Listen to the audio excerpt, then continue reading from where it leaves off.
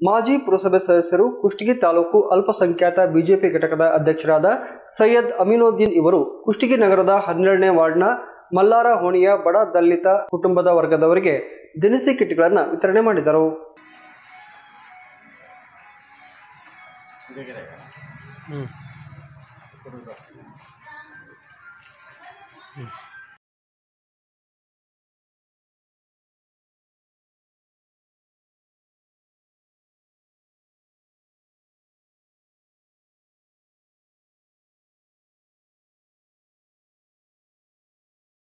ಮಹಾಮಾರಿ ಕೊರೋನಾ ಎರಡನೇ ಅಲೆ ನಿಯಂತ್ರಣ ಮಾಡಲು ಲಾಕ್ಡೌನ್ ಮಾಡಲಾಗಿದ್ದು, ಈ ಸಂದರ್ಭದಲ್ಲಿ ಕುಷ್ಟಗಿ ವಿಧಾನಸಭಾ ಕ್ಷೇತ್ರದ ಮಾಜಿ ಶಾಸಕರು ಬಡವರ ಬಗ್ಗೆ ಅಪಾರ ಗೌರವ, ಕಾಳಜಿ ಇರುವ ವ್ಯಕ್ತಿತ್ವದ ಕೆ. ಶರಣಪ್ಪ ವಕೀಲರ ಶಿಷ್ಯ ಬಳಗದಲ್ಲಿ ಒಬ್ಬರಾದ ಬಿಜೆಪಿ ಯುವ ಮುಖಂಡರಾದ ಸೈಯದ್ ಅಮಿನುದ್ದೀನ್ ಇವರು ದುರ್ಬಲ ಕುಟುಂಬಗಳಿಗೆ ದಿನಸಿ ವಿತರಣೆ ಮಾಡಿದರು.